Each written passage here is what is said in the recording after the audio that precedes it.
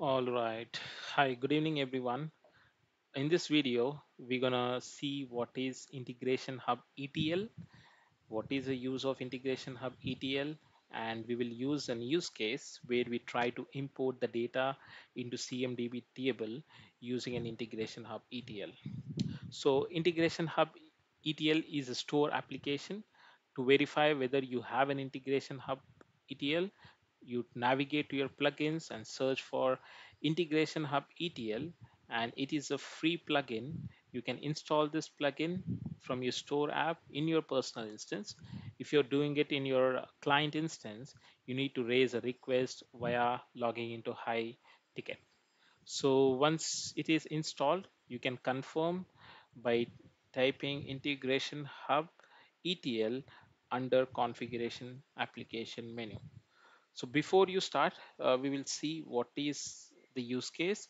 So I have an Excel sheet which which has a data related to the business application and the business capabilities.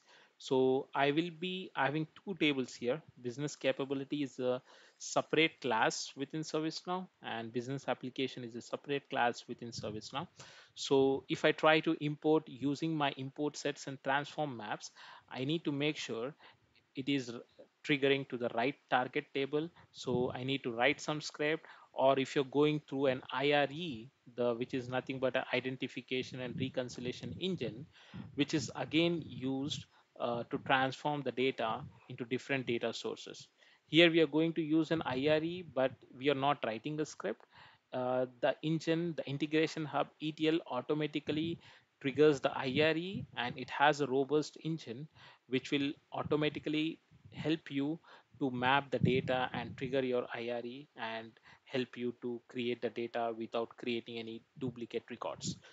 Before Integration Hub ETL, uh, we used to do it using an import sets where we used to uh, map the data, import the data in ServiceNow, and we have uh, a script include which is CMDB transform util, which is used to trigger and initiate your uh, identification and reconciliation framework. And you will be using a method function called set data source, where you will call your import set name, which will generate a payload uh, which uh, the payload from the import set which has received just like this and once you have the payload you will be uh, calling your ire engine which will help which used to help you to import the data in cmdb table but here we are doing it without writing this complex code or without using any apis so we're going to use the integration hub uh, etl engine which also does the same thing but in an advanced way. So i i navigate to integration hub. So before that, I need to make sure uh, I have my IRE identification and reconciliation rules are set up.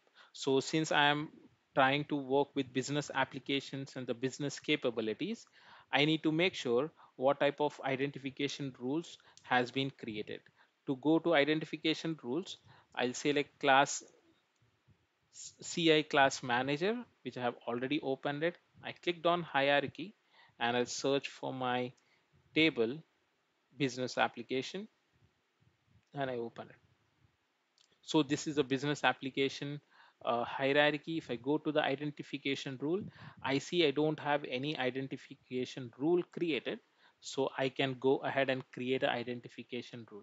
Make sure you have a proper understanding before you create an identification rule because this will help you to coalesce the data and it will identify the data whether it want to create a new record or it want to update an existing record so for now it's a straightforward use case we not gonna make it so complex we're gonna make uh, we're gonna create an identification rule which will be independent so i can give my description here i'll say save and i can add my attributes for this identification rule I click on add.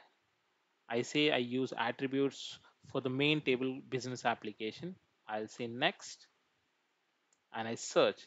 So since I have the name uh, in my Excel CSV file, I will use the name as my at criteriation attribute, which will help me to understand whether I need to create a new record or I can go with an existing record. So once I have it, I can do the same for business capabilities as well. So I'll search for business capabilities, which will open the record and I click this business capabilities and I'll create an identification rule because I do not have any rule already created. So if you have a rule created, when you are mapping the data, make sure you're mapping the data based on the criteria uh, attributes which are defined. If you missed uh, based on the de uh, defined uh, matching information, it will not allow you to create the data. So you will face an errors when you are importing the data using Integration Hub ETL. So uh, here also I'll go with the same name as my unique identifier. So I'll say I want only one. But if you see the existing any hierarchy, uh, you will have uh, multiple attributes. But for us, for a simple use case, we are going with the straightforward name as my unique identifier. So once you have created your uh, identification rules for business capability and a business application, you can now, now you can import the data in ServiceNow. So I will make sure what are the fields I have. I have business capability, I have name, I have install type, architecture type, software model, application owner, and a description, right? So, but I see the business capability name is being concatenated with the hierarchy ID. If I go to my ServiceNow instance and open my business capabilities, So here is the names. Uh, the name is a separate and I have a hierarchy ID which is separate. The Excel sheet, if I search to make sure if I have this business capabilities already there. So I have the business capability, but I have it uh, in the Excel sheet. I have it is concatenated with the hierarchy ID. So we will see how we can separate the data and we will make sure uh, when we map it, we are mapping with the right name as that's the attribute which we have given in our identification rule. So now uh, I'll go to the integration hub ETL. I'll open the integration hub ETL. So it has very few steps and uh, all the steps are uh, easily can be created. Here they use this uh, transform map assistant, which is just like a guided tour for us. So by default, once you install this application, you will see one as an uh, demo record. So you can always go through it and make sure how this has been designed. So today we're going to create a new one. I'll click on create new. So I have four steps. The first step talks about specify basic details. The second step, it talks about prepare source data for mapping. Third step talks about map data to CMDB and add relationships. And the final is preview sample integration results and schedule import. So I'll click on this. I'll click on import source data and provide basic details. So once I click on it, it tells me uh, the CMDB application. If I have already, I will use it. Since I'm creating a new one, I will give the name as business application import. And I have a discovery source where I'm gonna use import set. And so you, you can you can integrate with multiple data sources. You have different ways. So for now we are going with import set. So i have gonna use the same name application import. If i want to give a description here i can give it and i need to select the data source. So we haven't not imported the data yet. So before we select our data source we're gonna import the data in ServiceNow. To do that, I'll go here, I go to the data source, I'll say new, and I'll give the name as business application. I'll copy, I'll say the same here, and ours is a CSV file. I will save this file and I'll close it. I'll save. Okay, yes. So once I save it, I can, I'll submit the record first. So now I have created my data source and I'm importing, I'm attaching my attachment here. Choose file and search for BA. Yeah.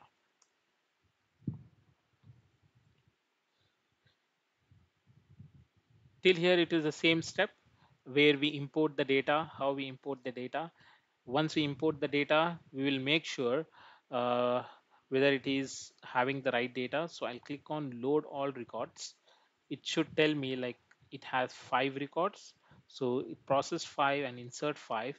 The next step, usually what we used to do is we create a transform map and we map the data. But here we are not going to create a transform map. We will leave it as it is.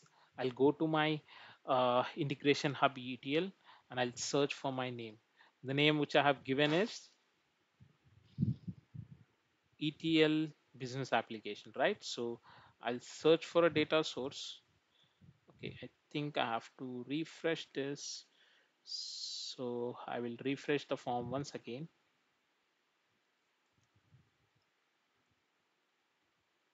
I'll recreate once, select create new. And I go for import source data. I'll give the name as business application. The discovery source I'm gonna use is import sets. I'm gonna use the same name here. This time I'm gonna search for my name business application. The data source is business application. If you see it has automatically pull the recent import set. So you can select this or you can set auto pull a new update set. So whenever it triggers we schedule this. So if you want to rerun or if you're doing it with any tool you can schedule it which will auto pull a new update set a new import set. For now i'll leave it as it is. So once it is done you will save the first step and you will mark as completed. So you have completed your first step in the guided tour. So once it is done uh, next step is to preview and prepare the data. So I'll click on preview and prepare the data. And this is one of the important step where you map the data. So if you see now, we got the data automatically mapped the way it was in our uh, CSV file with the uh, import set fields. So now first thing what we have to do is we need to separate this business capability uh, data, right? So for that, what you can do, you simply click on this. We have a new transform which will help you to split the data. So we have different types of transform types which were released in Paris and also in Quebec we got some additional features. But for now we're gonna use split function. So I selected split. I'll say like to with which character you're gonna split this. So I see I have a small dash. I'll use that hyphen here and I'll before I generate the uh, I'll click on generate output columns. So once I generate the output columns, it has split it into two output column name one and name two.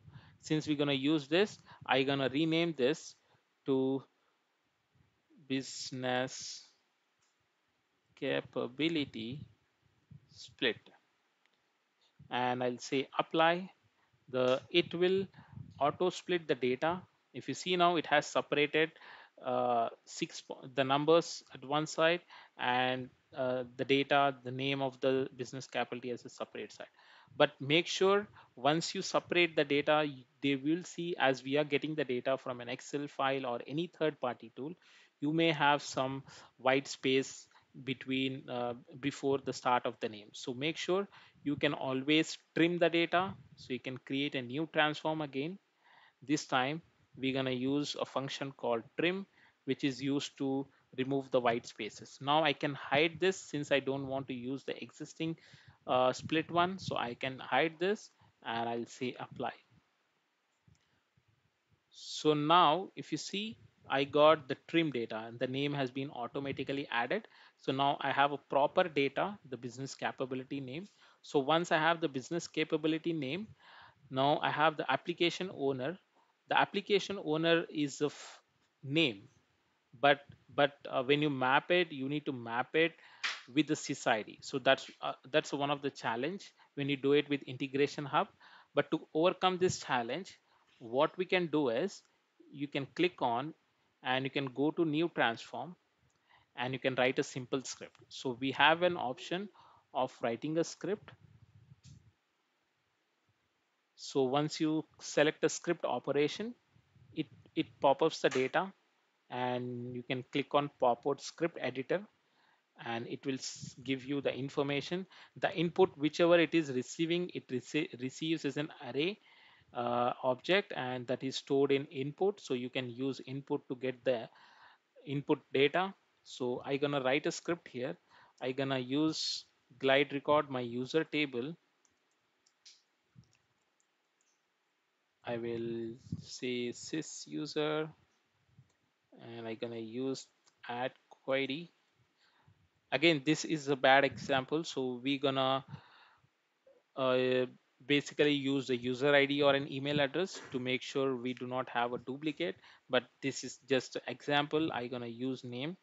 That's what we have. So i'm gonna use input which will give me the name. So once i have it i will say query. Once it is query i will say next. So once it founds the record once I get as true I gonna send save the output in this one. So I gonna say output of i is equal to gr dot get unique value which will give me the sys id of the current record. What in case if the user uh, if the system not identify the user so we have to create a new user right? So i gonna use gr again and use the initialize method. So once i use i will use set value to set the data. Since we have only the name here so i'm going to set the name which we are getting in input. Then i will insert the record. Once i insert I gonna use the same method to store the sysid. I'll copy, I'll paste it. So once it is done, you can simply format the data by clicking on this. Once you format the data, save it. Once it is done, you can say apply. If you have done it correctly, system will help you to give you the sysid here. If you see, we have the application owners and you can also check with the sysid Abraham Lincoln is already available as we all know it. It's, it's a, my personal instance.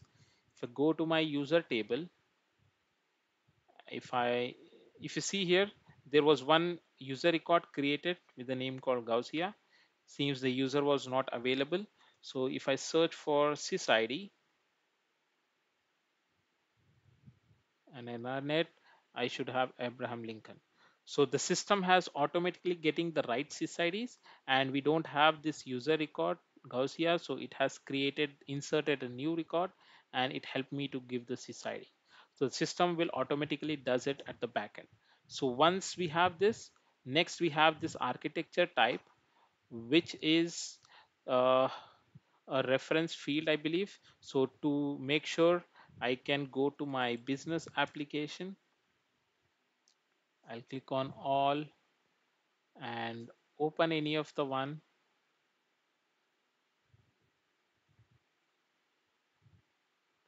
You see the architecture type is a choice field, right? So now, so if you directly map this data, if the value is correctly there, it will create it. If not, it will insert in a blue color. So when we do it, when the value is not found, it will insert in blue color. So make sure you have these values. I have this client server and the next I have is web based. So I hope, yes, I have the web based as well. So if you have it, that's fine. If not, again, you can create a script and you can map the data, right? And I don't want this now. So I will say ignore in mapping, which will help you won't display uh, in the next steps where we are mapping the data. And I don't want this as well. So I'll say ignore I want description, so I will leave it as it is. Next is the install type.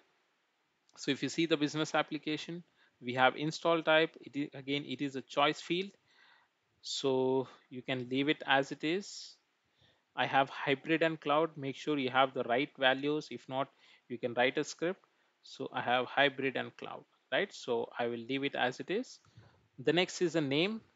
The name, make sure you trim it. Sometimes you may have the white spaces as i said before.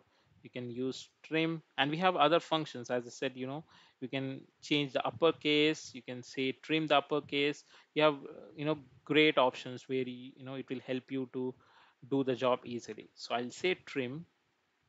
I'm I'm gonna say you name i'll remove this and i'll say business application and i'll hide the old one I'll simply select as apply. So which will create a new field with the business application with the trim data, right?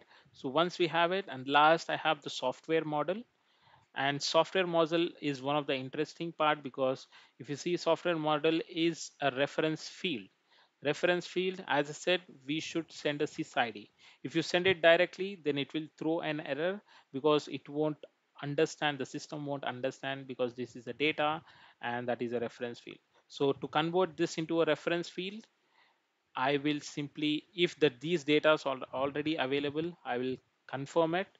I'll search it. I have this. The next I have is Adobe System Dreamweaver. So I have these two. So if you have all the data perfectly available, so you no need to write a script. So in, in user record, we did write a script because we have few users which were not available in user table. That's why we have written a script. But if you have the data available, so you can use the new transform button and you have something called table lookup, which will be easily understand. For example, I'll give the name as software model sysid and I'll go and I need to know the table name. So I'll search the table name and I see the table name is CMDB software product model, right? So I'll copy this and I'll come here and I'll search here. I'll get the table name. So once I have the lookup table name, it says if values of target table column. So which means what table it is mapping. So you need to make sure because these are the tables. So you will have a display name and a name. So you need to make sure what it is. So when I click on this preview this record, so I can see this is a display name. It is not my name. Make sure you're mapping rightly so that you get the data. So I'll go back here. I'll say input. I need to match the display name with my name is software model, which is a field which got inserted with my update import set. So once I have it, what I need, I need a sysid, right? So I'll say the output I need is sysid. So once you have it, I'll say software sysid and I'll apply. So if you have done it correctly, you should be able to see the sysid of software model, right? So I'll scroll back and I'll search where is the software. Yeah, if you see here, we got a software model sysid. So we got every data. And once you have the data, once you see that you are fine, you'll click on mark as complete. So this was one of the crucial and the important step because that's where you make the changes and you split the data, you play around with the data to match it perfectly when you're mapping the data. So once we have that ready, the next step is map data to CMDB table and add the relationships. First, you need to select your uh, classes since uh, every table within CMDB is called as a class. So first I will be adding the class. You can go with add a class or add conditional class. So the conditional class comes into the picture if you want to add any condition and based on the condition you want to call a class a table name you can use that in our case we're going to simply call add class and I'll, the first table we're going to use is business applications I'll say save and the next table we're going to use is business capability for a relationship purpose so I'll save it So I have the two tables automatically created here. Now, once you add the class, you're gonna set up the mapping. So this is the place where you will map the data, the source table which we prepared in our previous step. So here, you whatever the fields which are visible here are basically the mandatory fields, you know, which are required to insert or create a new record. The first is the business application name, the native key, so I'm gonna use this, which is gonna be my unique identifier and the timestamp we can ignore it for now, which basically logs if you hover it on the question mark, it will help you whenever you fails the data, it will log that date, whichever you have provided. So the application category. So if you see now in our uh, sheet, we do not have the application category because in our Excel sheet, we don't have the application category. So what we can do in this in this scenario is you can get an information. So if you want to set a by default, since application category is a mandatory field, which is not available here. So if I can quickly use a form layout and I bring the data uh, sorry, I bring the field to the form, you can get to know whether that is a mandatory field. I'll get the data just above application category. I'll have it placed above my software model.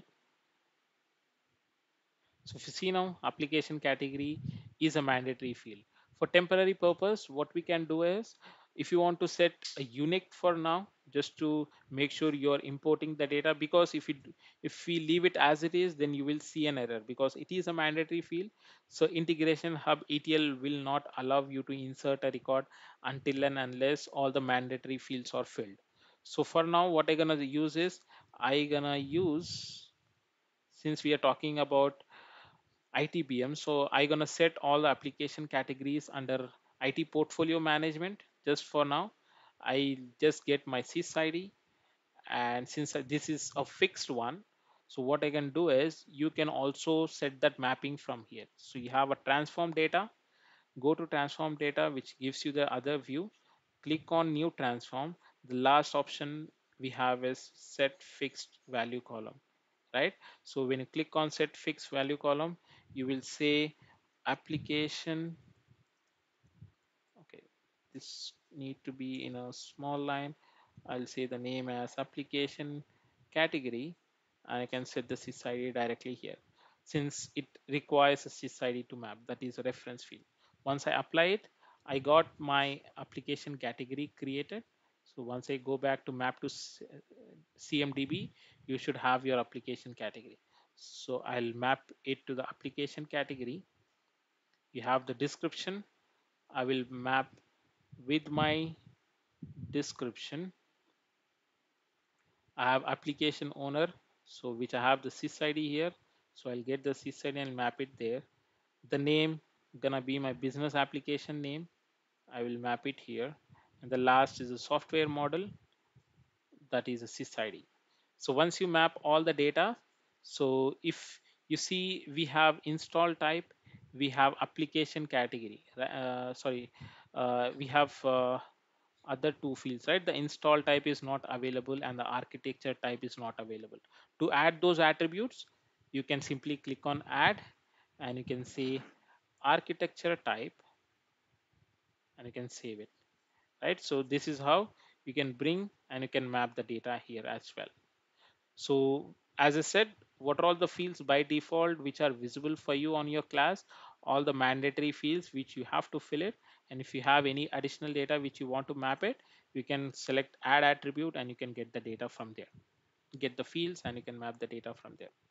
So once you have the entire structure ready on the mapping, you can simply go back so it will auto save so we have set our business application now we're going to set a business capability i'll set up business capability mapping.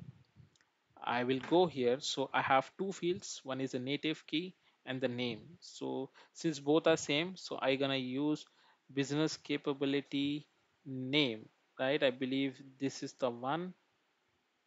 After split one the unique identifier is a native key and the name is a business capability split underscore one. So once it is done, I will go back and I'll say mark as complete. So I have complete my three steps now. And the final step and the interesting step is, sorry, before the final step, you have to build the relationship. So I'm gonna build the relationship between the business capabilities and the business application. So if you are if you aware of the business capability, how it works, it has a relationship, a provides relationship which is used to apply the business application uh, as a mapping for uh, business business capabilities. So I'll click on add relationship. If you're not aware, that's fine. The system will help you in understanding. Again, we have two options. You can go with add relationship or you can go with conditional relationship. The condition relationship comes into the picture. Say like you have you have importing a multiple classes like Windows Server, computer, computer, and uh, so on so you can you can have your input as you know the window if whenever it is windows server map the relationship to this table. Whenever it is computer map it to this table. So that's how you can build your uh, conditional relationship. For our scenario it's to be add relationship. The parent gonna be a business capability and business application. So if you're not aware of the relationship the system will auto identify and it, it will populate with the suggested uh, relationship type. So if you're aware of it that's well and good. If not your system will help you in identifying the right relationship. So once you have the relationship built click on add. Once it is done now you say mark as complete. So now you have successfully completed the three steps, major steps, and the last is for the testing. So we have test and rollback integration result, which will help you to test it initially and it will insert and it will display in, in the table as a real-time data, but it won't save it or it won't be saved in your database until you set as perform, you know, you save the data from here. I click on test and I'll click on run integration. If everything is right, you should see no errors. If you see errors, which means there is some issue. So if I see here, uh, I don't see any errors here. So if you see here, you'll get the data here. I say like there were two class which were mapped. The relationship, there are five class relationship built. Four records were created, which means there was one existing already available and six records has been updated. So if I scroll down, I got the business applications section. I have my four business applications which I was having in my Excel file and I have business capability which has built my relationship. So these are my business capabilities. I have five business capabilities to which I have the relationship built and how it is built that is displayed under relationship section. The parent is my business capability. Payroll management is my child, which is nothing but my business application. So once you see if you have any errors, you're going to see errors here and you have an activity log which will help you to tell you how this data has been transformed. As I said, it help it applies a robust transformation.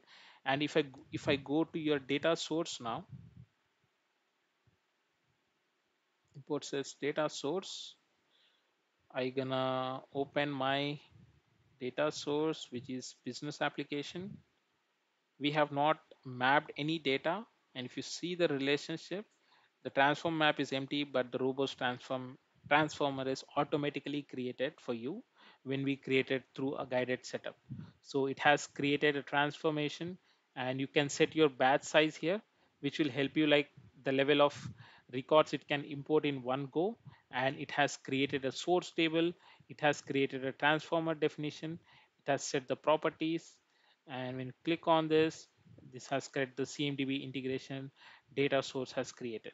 So it does everything for you at the back end. So these are all the entries. These are all the robust transformation which has been created for our business application mapping. Right? So now let's see how the data is mapped. So i'll go to my business application table i'll open all business application. So i will search for the first the i got four business applications created right? And if i open my excel file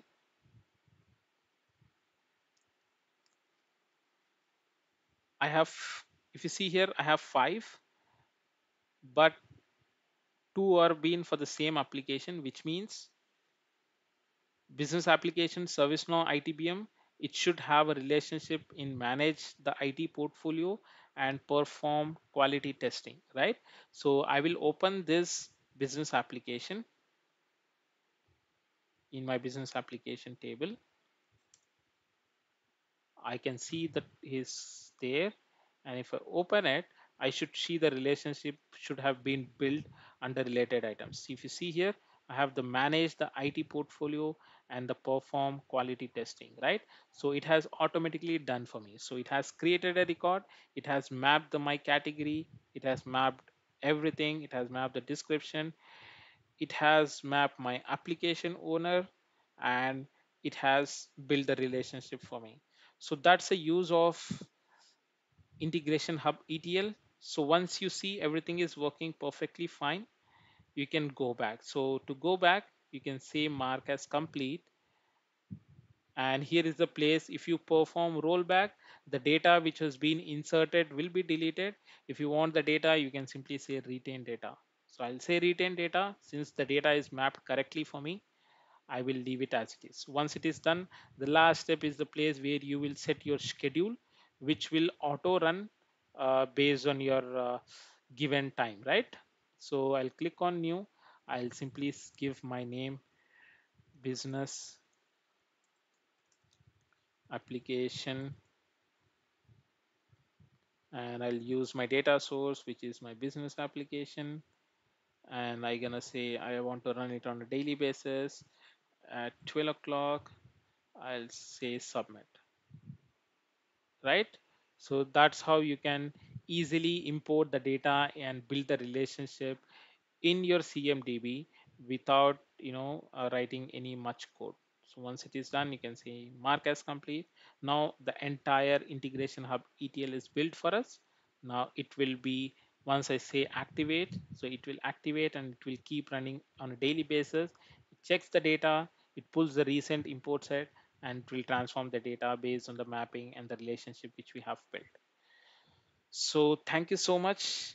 Please uh, comment with your uh, comments. I'm gonna share the link and also I'm gonna share the CSV file for you to just practice it and share your comments uh, with your feedback. Thank you so much. You have a nice day.